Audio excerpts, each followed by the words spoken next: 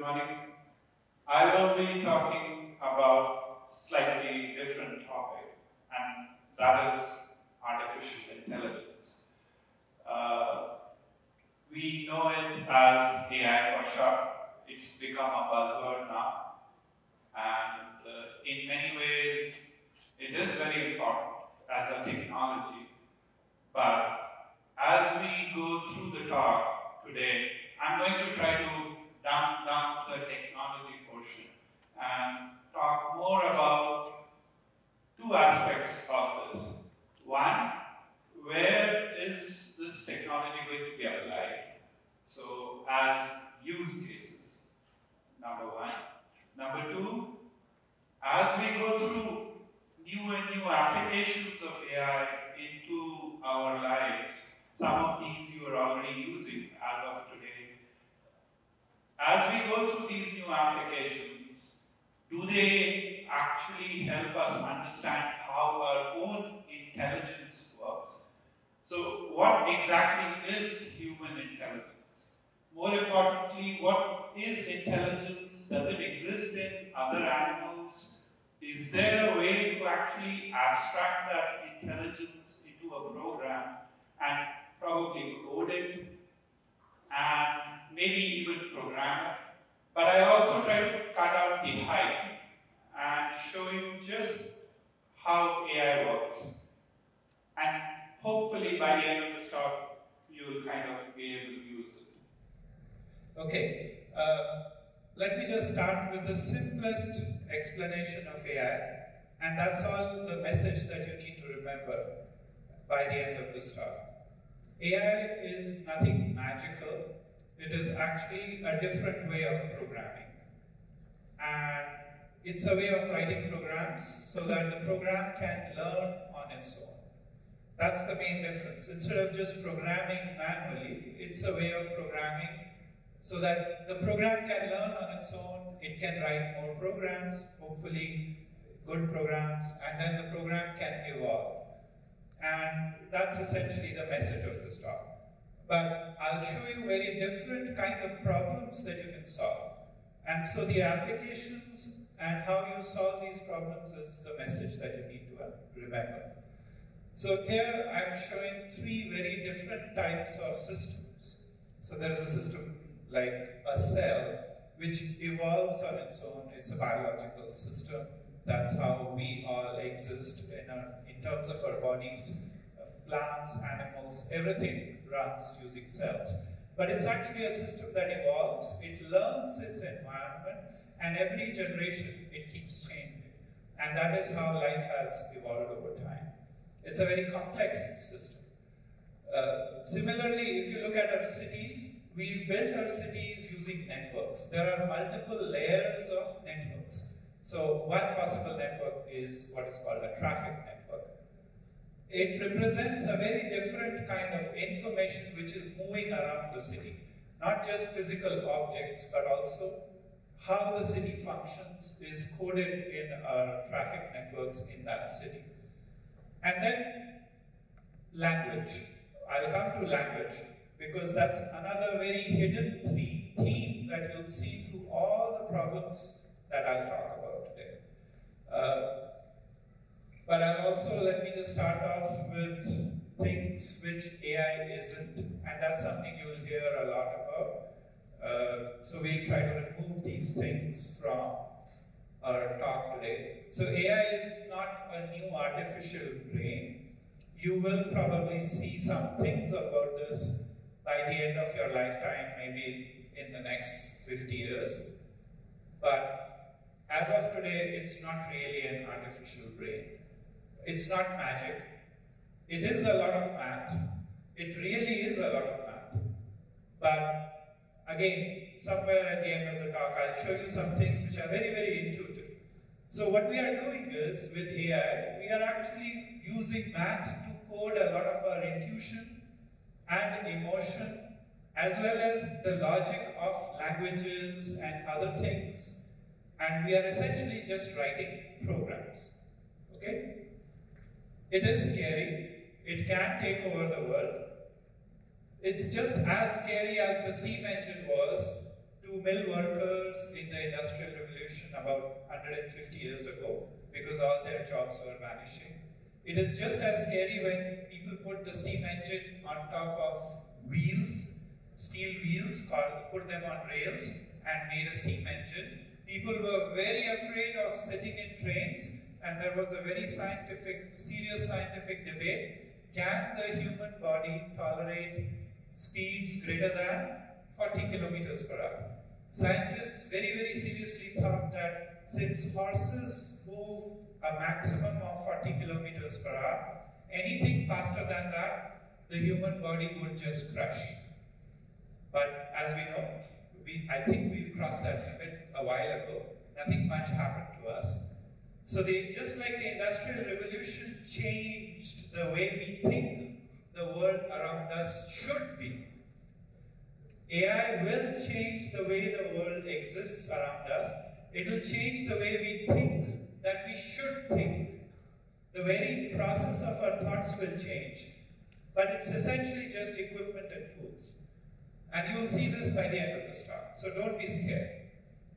Alright, so I'll start with the simplest example, which is traffic networks. If you wish to go from one end of a city to another, you don't count distance. The same distance in Delhi would be very different in another city. So what do you count? You count time. And the reason you count time is because distances, roads, traffic, cars, buses, these are all shared resources which you are using at a certain time. In the time that you use that, you have to queue up and wait you have to actually go to the airport at least two to three hours beforehand for a two-hour flight. Now that doesn't make sense as such, but the reason it makes sense is those two hours that it takes to go to the airport, you are queuing up to get into the car, to get into the bus or the metro, and then you actually use the road, and then you get off, and then you go into the passenger check, checking security queue, and then you again wait, because you are going queuing up and lining up and sharing resources to get onto the plane or the train.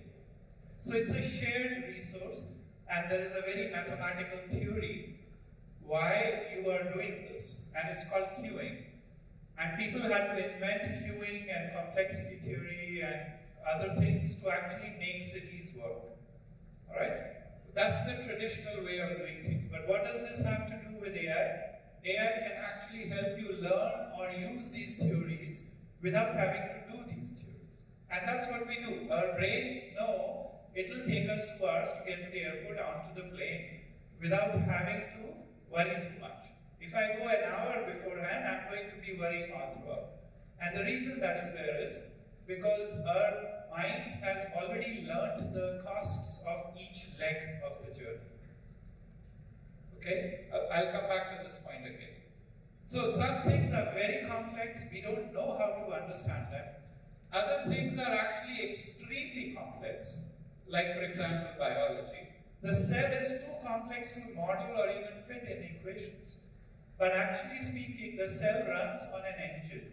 And the amount of information that is there in the genetic code of the cell it's the, exactly the same information which is projected across the whole body. There are 10 power 14 cells in a single human. Every single cell has exactly the same information, but the liver cell and the brain cell and the blood cell and the macrophages, everyone knows their job because there is a way of expressing genes and suppressing genes, and that's coded in the information. And it runs on its own, and the whole thing runs on a very tiny little bit of thing called the genetic code. There is actually another branch of science called epigenetics, uh, which is separate from the genetic code. But things get complex from very simple amounts of information. So the point is, if I wish to read the language of DNA, the language is very simple to read. I can read it serially.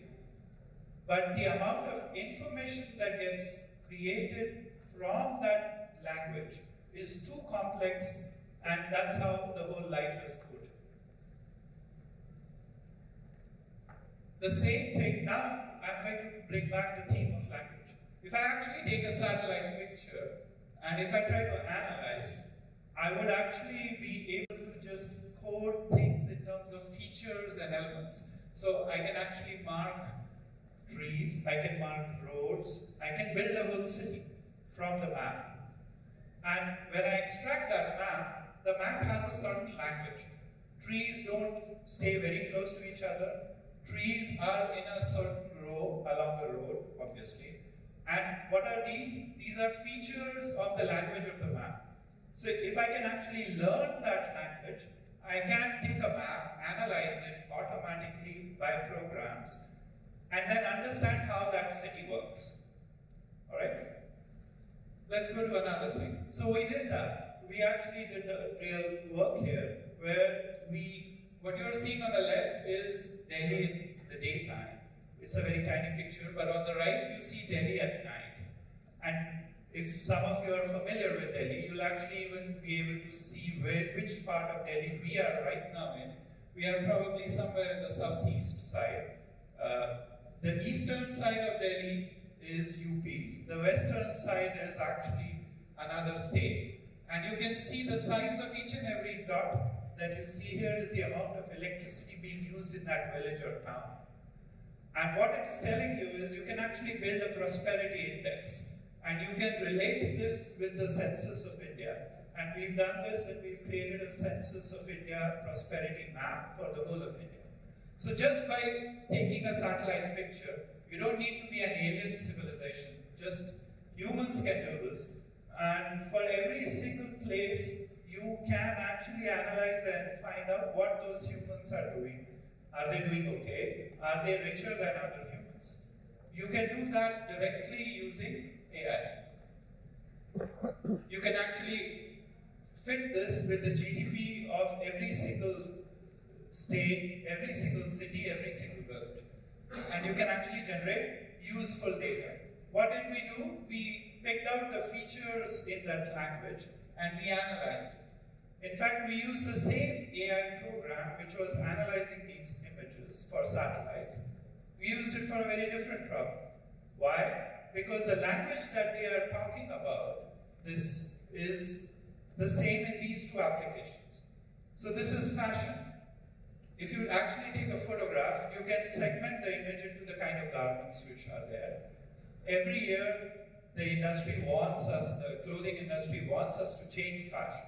Why? Because that actually brings out, you know, the industry wants you to change, that's all. And there's trends. And with age, as well as which region you are, you want to always be trendy.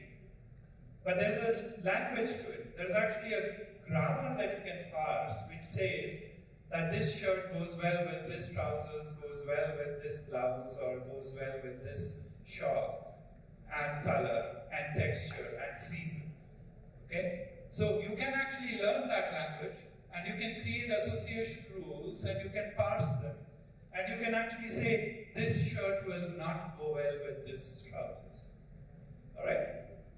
And the language that is there an AI algorithm can learn, and that language that it's predicting is very similar to the language of a city, the map of a city. And that's why the same program works. But now let's come to a slightly different problem. Uh, as of a couple of months ago, this paper was published by a research group where they took a bunch of exam papers and they trained the AI to learn and answer questions.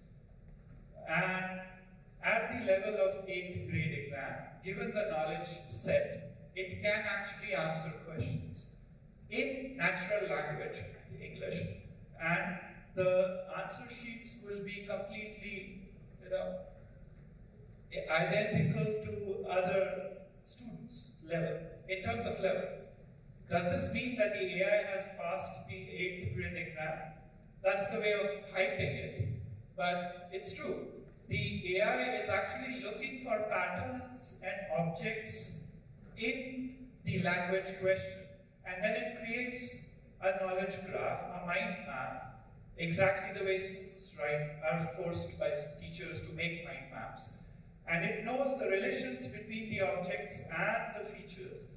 And then it creates an 8th grade exam and it can answer it. Uh, if you can do that for cheating on your 8th grade exam, let's do it for something more useful. Uh, this is the Rosetta Stone, which was discovered in 1798. It took almost 50 years for humans to decipher it. And that was when three different languages were available for translation. The same text was available for translation. Uh, you can actually try to do this for real problems. Uh, this is a language which was there in, this, in Greece called Linear B, which people have decoded by now. Uh, and if you actually put it in an AI program, the AI program can actually learn this language and predict is the translation that we have real or not? That language was from the Mycenaean civilization. This one is a language which is still not decoded. Uh, this is linear A. But the symbols that it uses, amazingly, are very similar to the Indus Valley civilization. And uh, this is kind of a hobby of mine, and we are trying to decode this and find relations between these languages. And someday it, you will be able to read dead languages. The AI program that you're using is the same as which codes uh, for fashion. Uh, just to do something similar, this is Flappy Bird. We're going to play video games. We're going to actually have uh, AI try to learn how to play video games. It actually also has a language. It has a certain set of parameters and the neurons that we will use here, they are programs, they're just pieces of programs. They will learn these features and then try to play the game. Okay? Uh, this is the real math, but this is high school level math. Any 10th grader can actually learn this and code this within a day. So here, I'm going to start the program. It's going to evolve. It starts with a lot of solutions, and then it tries to find the best fit. Within a few generations, it actually will find the right solution, and after that, the program will run, learn on its own. Okay? So it's actually already found the solution within four or five iterations, and it's not going to make any error. This is why video games make you zone out, because you learn the program so fast and then after that, your pleasure centers of your brain actually just keep giving you rewards. And that's why video games are so fun. I was never allowed to play video games, so this is what I do now. But if you get to play video games, then you don't need to do this. Alright? Uh, let's go to another example. A very different AI. A single program, a photograph converted into a video. So like your Harry Potter kind of, if you remember the movies, they have these talking heads and paintings. So you can do this with real photographs. Uh, you can do it with paintings. You can change the expressions. You can even change the personality of the, the, the painting. And you'll see this here. The three people that you see there, they're actually very different. I can actually take a photograph of any of you and make it talk. I can do the same thing with voice, Uh, but today we'll just stop here. So just to give you an idea what AI can do, as of today, it can code, you could write maybe about 100,000 neurons in a real system. Within your lifetime, you'll probably reach a million, 10 million. So a certain set of skills can, will definitely surpass, go beyond human capabilities. Maybe even reasoning, maybe even emotion probably not wisdom, but certain skills you will be able to get super skills. And then you could use those AI to, you know, aid what you are doing normally.